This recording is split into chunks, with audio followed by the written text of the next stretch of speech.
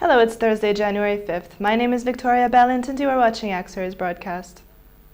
Let's start with the technical outlook for the euro dollar. Price fell below main pivot and after a correction, target is still at support S1, where we can expect rebound.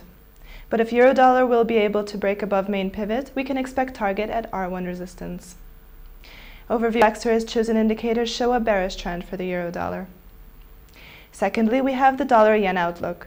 If price holds above main pivot, we can expect target at R1 resistance. After that, dollar yen will continue in consolidation between support S1 and resistance R1.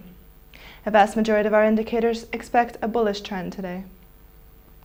Following that, our outlook concerns the sterling dollar. Price fell below main pivot and now is heading towards S1 support. Decline below this level and subsequent targets support S2 isn't excluded. According to the summary of our chosen indicators, we can expect a bearish trend. Finishing up our outlook is the dollar franc. Price is heading towards resistance R1.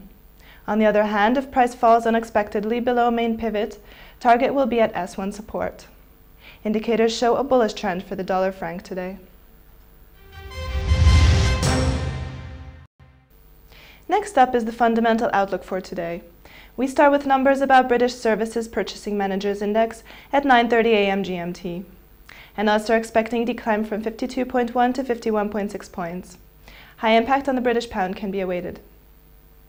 The Automatic Data Processing Incorporated will release monthly figures about non-farm employment change at 1.15 p.m. GMT. It is ex expected decline from 206,000 to 176,000, and it will have a high impact on the dollar. The Department of Labor is going to report weekly numbers regarding unemployment claims at 1.30 p.m. GMT. Economists are awaiting decline from 381,000 to 375,000 in unemployment claims and a high impact on the dollar.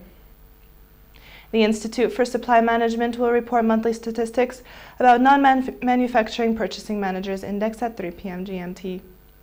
Analysts are awaiting increase from 52 to 53 points. Readings above 50 indicates industry expansion, below indicates contraction. Economists are assuming a high impact on the American dollar. And finally, we bring you our summary of the best traders and their strategies on Axiory, which are available for you. You can see on your screen three tables about the best traders and trading strategies on Axiory, giving you the opportunity to join them. On Axiory, you are not alone. There's a whole team of profitable traders here available for you. Watching Axiory's news broadcast, have a profitable day, and we'll see you tomorrow.